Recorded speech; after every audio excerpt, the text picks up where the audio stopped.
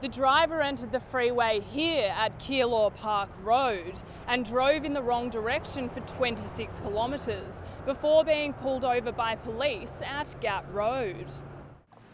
Supported by his wife, Stephen Milne walked head down into county court for the sentence of his indecent assault charge. Milne's wife broke down in tears as Judge Michael Bourke announced that her husband would be spared a criminal conviction. The self contained units in Newtown will provide supported accommodation to young mums. Small Steps Program Coordinator Caroline Verth says that the problem of young homeless mothers is not often discussed. Daniel Andrews was shooting for goals today as Labor pledged a $5 million upgrade to the Bendigo Stadium. This will be delivered and we'll waste no time doing it. Charges weren't laid at the time, but in 2010, when Mick Malthouse brought up the allegations again, the victim chose to come forward.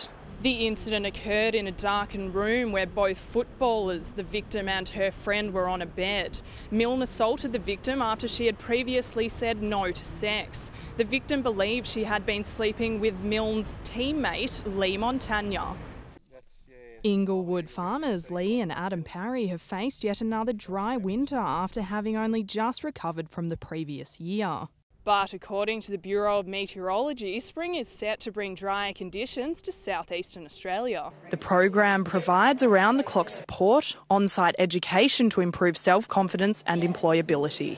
Rose Houghton, Southern Cross News.